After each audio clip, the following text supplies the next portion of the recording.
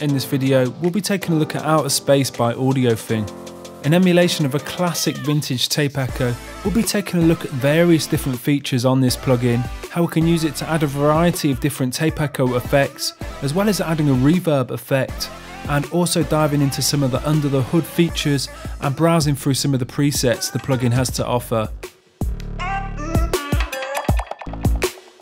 I have an instance of Outer Space loaded onto my percussion bus channel here. And I have my free percussion sounds. Let's have a look at this mode selector and explore the different modes that we have available.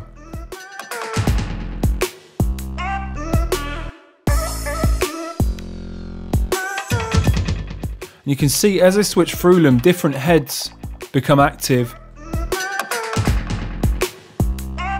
creating a variety of different effects, either reverb and echo, or just echo alone.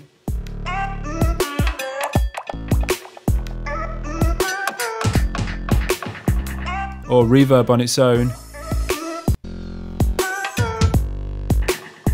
Go back to one of the reverb echo effects now. Let's take a look at this send. I've increased the intensity quite high so we get a longer decay on the delay.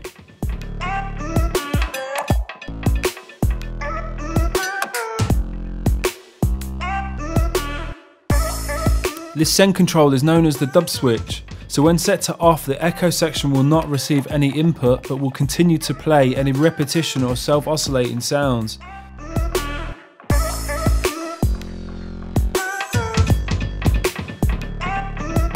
So we can get a really cool effect by setting the switch to off as the delay is started and we get that dubby style echo.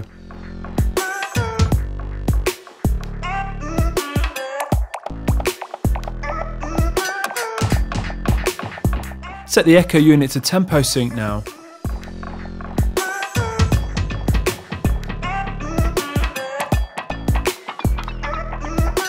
Let's have a look at some of the under the hood features that we get with Outer Space by clicking this more drop down option.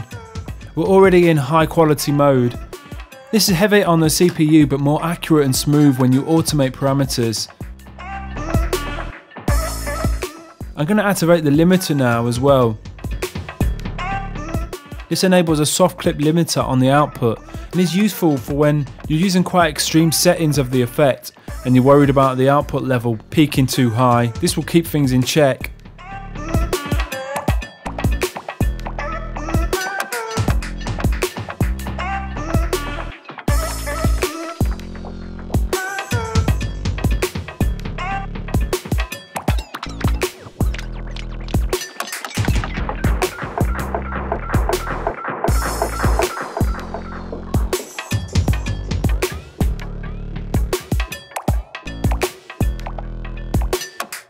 Take a look at this snare now.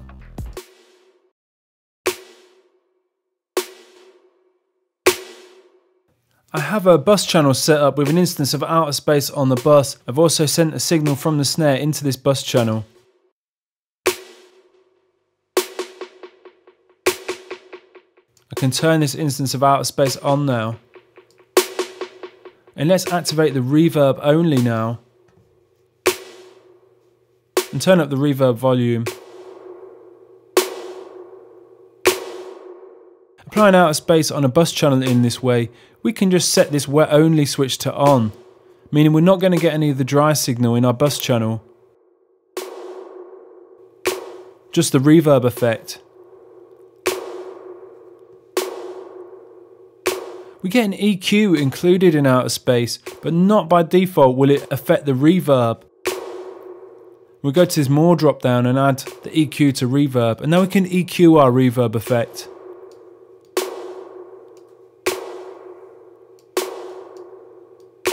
Take it down the treble for a deeper sound. We can also tweak the decay from short to long.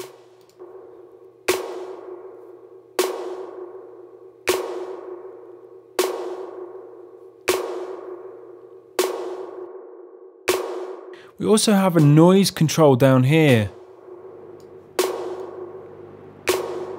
We can add a bit of noise to this signal for a bit more of a gritty old school flavour. We can add an envelope to this noise to control the tail.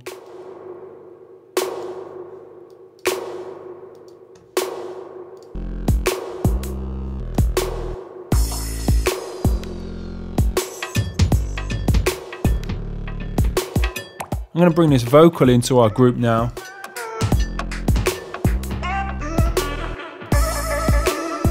And turn on this instance of outer space that we have loaded on the vocals.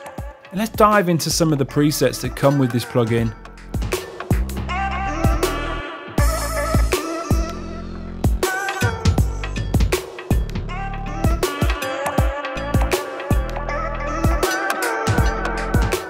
With a preset like Long Cliffs, we hear that really familiar classic dub style echo. Let's try tweaking the repeat rate.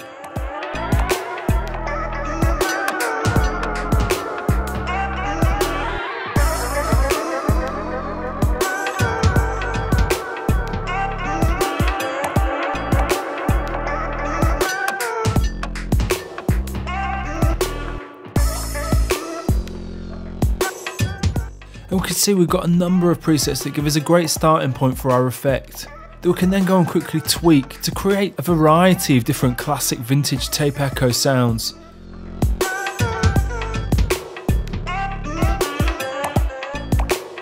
Be sure to check out Outer Space by AudioThing, which is available now at adsrsounds.com.